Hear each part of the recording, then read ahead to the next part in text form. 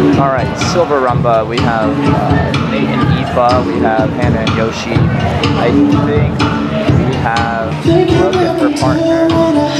Um, and then, oh, there's Val and Ray. Right there.